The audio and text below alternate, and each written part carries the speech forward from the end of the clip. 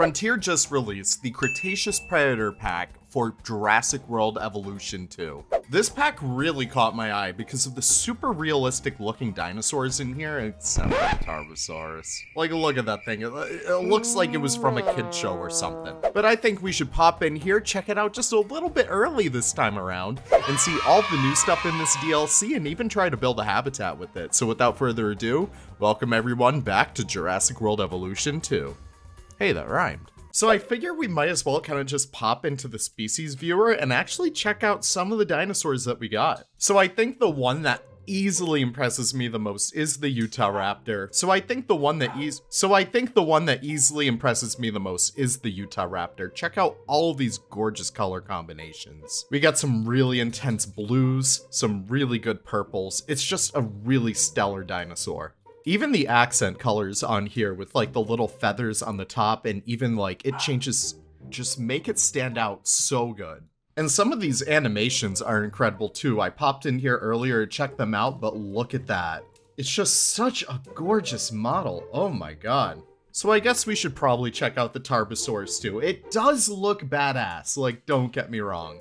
But it also does have that Jurassic World flair on it, which I believe is also due to the fact that it was in Camp Cretaceous. Again, I'm not really the biggest Camp Cretaceous fan, I just like the original movies and, you know, and I enjoy the Jurassic World movies, but it's still so cool. And we got some really cool patterns with it too really awesome stuff. I love when you kind of mix like colors that don't usually go together, like blue and white. That looks awesome. But he does look kind of like a cartoon character, which is why it's not really my favorite in the pack. The Gigantoraptor, these guys are huge in game, it's insane. But what I love the most about these guys is that they have these really, really colorful palettes, and even some like darker ones would match really good with like, I don't know, all these other patterns. Very cool stuff right there. They look kind of like murder chickens.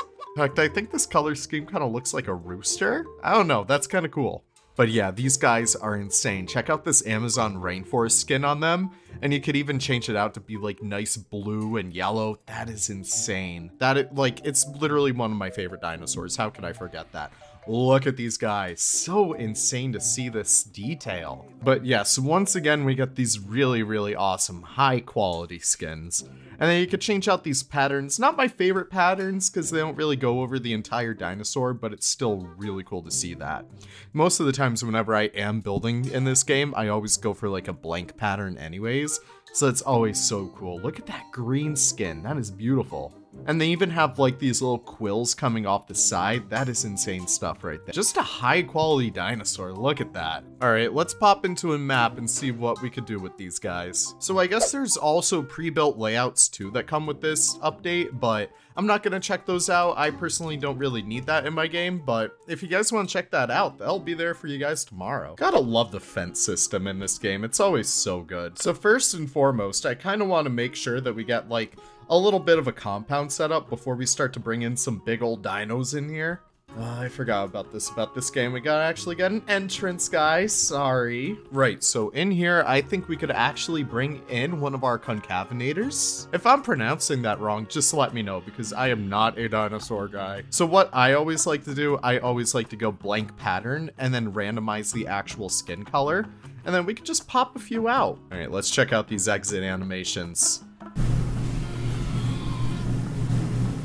They are gorgeous.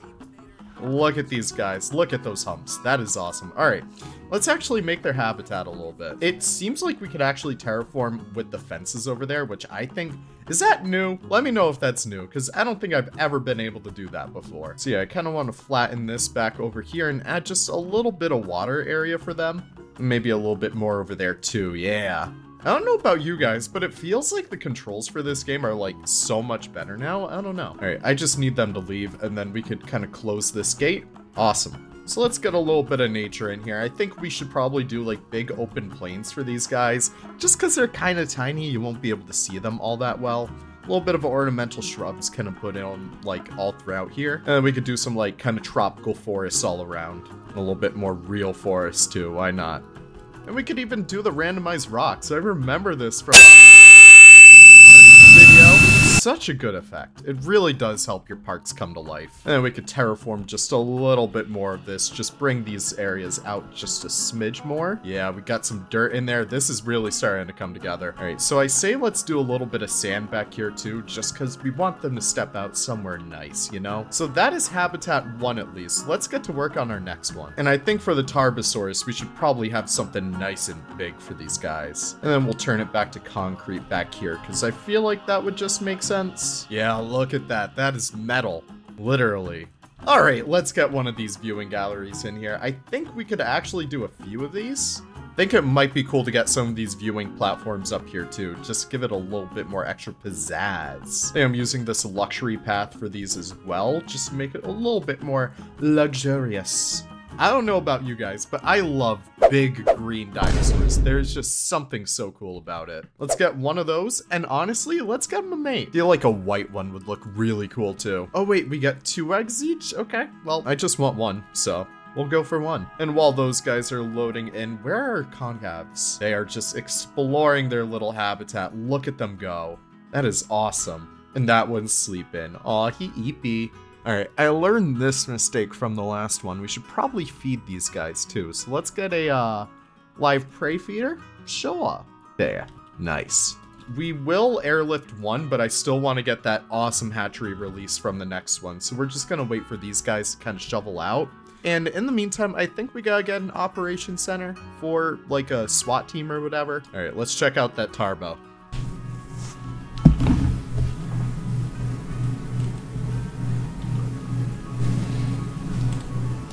Uh, a little too close, buddy. A little too close. But they look awesome. Yeah, a little bit more cartoony than I like it, but you know what? It's fine. They still look cool. All right, go take care of him for me, buddy. Thank you. And look at the green one too. That is what I'm talking about. All right, I do want this to feel just a little bit more hilly than the rest of the park, so I think we could do something kind of like that. Would be cool to get like a little bit of a canyon going through here. That might be awesome. And it seems like there's an auto paint function too, which is kind of exactly what I needed. Yeah, look at these valleys. This is gonna be awesome.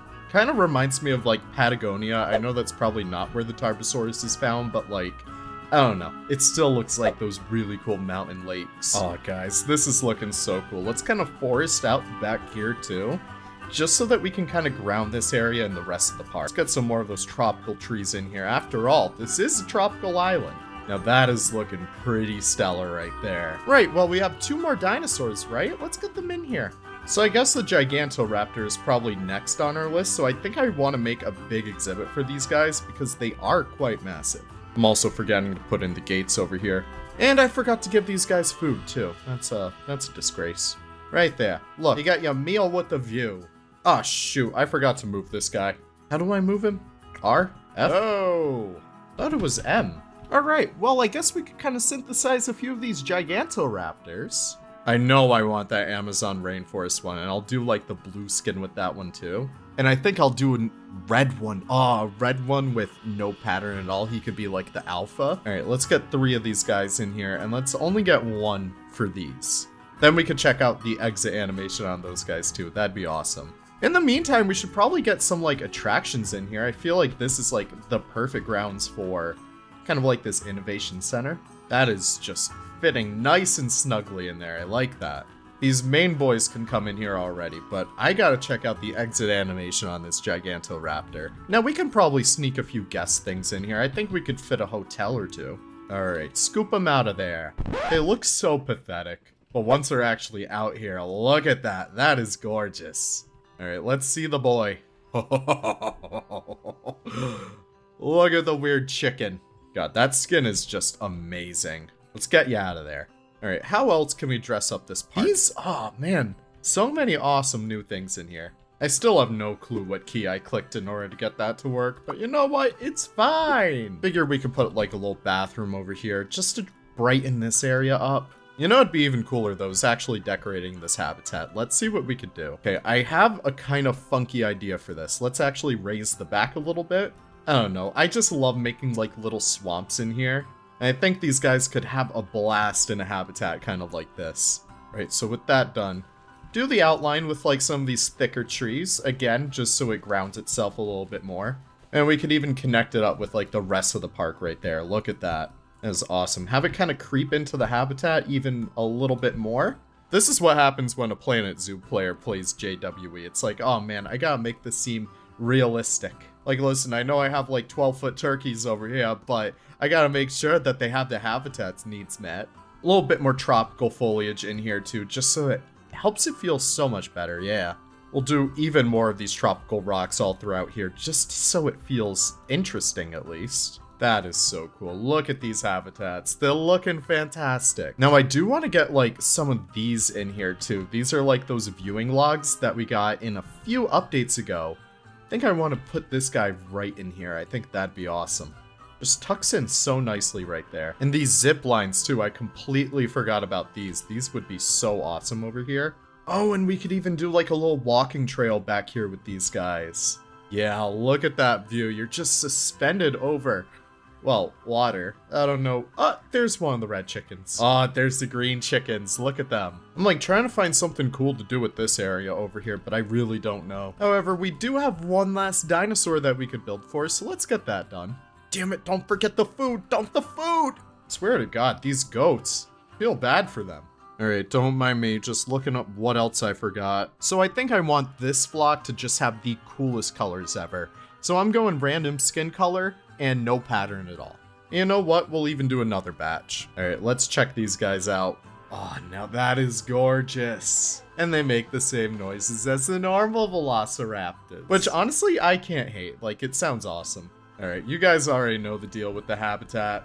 This time I think I want like this mountain back here. And honestly, these guys could just have a huge open field to run around in. I think that's to be the coolest thing. Because, like, you have these animals that are so fast, I assume. I mean, I've never seen a Utahraptor in real life. If you have, let me know in the comments. But yeah, you have these presumably really fast creatures, so I feel like having them have all this open space, kind of like a cheetah run, might be kind of cool. And yeah, we're just decorating like all the areas around here so it doesn't feel so empty. And there we have it, a habitat for Utahraptors. Look at these guys. Oh, look at those. Oh, they're adorable. We have a nice big one for our concavenators. Really intense patterning down there. I love that stuff. You can get up close to the... You can get up close to the Gigantoraptors over here. Look at them. That's terrifying. I'm already scared of chickens as it is, and those are just even worse. And our Tarbosauruses have this huge canyon down here. Look at this. So awesome. Alright, I'm gonna see what I could do with building up the rest of this habitat, and I'll see you guys after the fact. Or rather, this entire park. I'll see you then.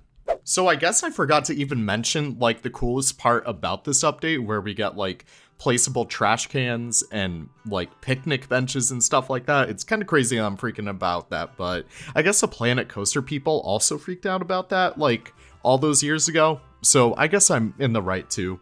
But yeah, essentially all I wanted to do was just finish up this park and get it ready for you guys for day one release. So really, that's about it. I'm super happy with how well this turned out. So you can see I'm doing a whole bunch of different like guest-oriented building just because if I did this live, it really wouldn't have been as efficient, really. I don't know. There's only so many ways I could talk about placing down a picnic bench when I could just place down the picnic bench and talk about it with the film sped up about 600 times. But you can see I'm over here just trying to figure out what else to do with this park. Uh, it's really difficult for me to try and orient myself into building for Jurassic World Evolution because when you're building in Planet Zoo, it's so easy because you're building like a very concise habitat and then you're building like very concise guest areas. It feels very grounded. But when you're building in Jurassic World Evolution 2, you're building these monster parks where they house these literal monster dinosaurs and it's like you don't even know where to squeeze everything. It's like so complicated. But i start to figure out like kind of like the tools of the trade. So i place down a whole bunch of like custom scenery everywhere placing down like palm trees and these larger kind of like brazil nut trees uh, just to line up these areas, make sure they look very good. I really like what I did over there with like the sand with like the Mediterranean plants from the Malta DLC. Really cool stuff right there. But just adding as much more detail as possible. And I was like, you know what? This park looks fine on its own, but I kind of want to decorate like the exterior of the park. So I decide, you know what? We're going to call it the Maw. we're just going to call it the Maw and decorate the entire exterior of the park too. So I love how well this turned out. So I essentially did this swamp area on the outside and I have these huge mountains like kind of hugging the park like that. You can see it really come into play right here. I decorated it a lot more with like more terrain paint and stuff so it feels very kind of built in, but it just helps to center the park so much better and it really helps give it a more of a sense of purpose. So if you guys are building in JWE, I really do recommend you guys play around with that because it really does help to give your park just that extra oomph over there. It just is so much easier when you're building a park and you're looking at filled out area rather than like an entire blank sandbox map. At this point, I started to get a little bit more comfortable with the actual decorations once again, not really going something as crazy as I did with my marine park, but I still wanted to bring in a whole lot of different decorations in here. So I love those little backstage areas where you put like all of those containers and like all these like shipping crates and stuff. I don't know, I just love that. And I also went through and did like this little seating area right there. I suppose you could have like a little fast food joint right next to that so you guys could eat by the water when you look at like these cool dinosaur statues. I know it's a carnivore only park and I put an herbivore right there. Let's just remind ourselves what they eat. Uh, also putting down some hotels and stuff because really what else can I put in here to help it really stand out? Just some other restaurants, some other shopping areas, and that's really it. I really do love what I did over here with these fences too. Not really fences, but these planters. Really helps you ground these areas too. And I really love what I did with this little area right there too. It's just the same thing over and over again, but I don't know. I still enjoy it. Uh, adding some more details in here, including the Hammond statue that was the first anniversary gift. Uh, really sorry, JWE people, about that. I know that we got a free animal, but if you guys want the peccary, I'm sure a modder can pour it over so you guys could have it as like food enrichment, I guess. I don't know. But yeah, that's really it. Just adding all these extra details in here. Uh, not as much as I wanted to do, but I'm kind of cutting it close with the release of the DLC anyways. So I just wanted to get this out for you guys guys, I'm still super proud of it. Like, it's still a really, really awesome looking park. And without further ado, we could actually get into the cinematics. You can see that beautiful look over the park. And like all these quick little shots just showcasing what this park is. All these little cool areas where you guys are able to chill out in. And of course, we get these really cool dinosaur shots at the end. So thank you guys so much for watching. I really do appreciate it. I can't wait to see you all in the next Jurassic World Evolution 2 video. Take care and have the most wonderful of wonderful days. Goodbye now.